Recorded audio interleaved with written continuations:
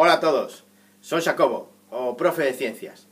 Estaba eu por aquí consultando a predición do tempo para os vindeiros días e para eso emprego unha aplicación que teño no móvil, que estades vendo aquí detrás.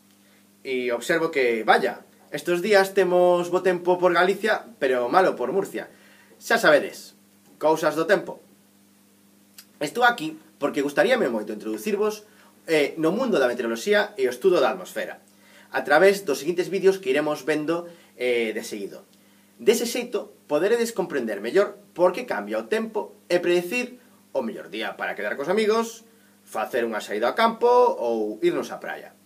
Pero ben, antes de nada, que é a meteoroloxía? Esta é a ciencia que trata de explicar por que temos este tempo e non outro. Que condicións danse hoxe aquí para ter este tempo que vos decía en Galicia e que faga malo en Murcia, en este preciso intre.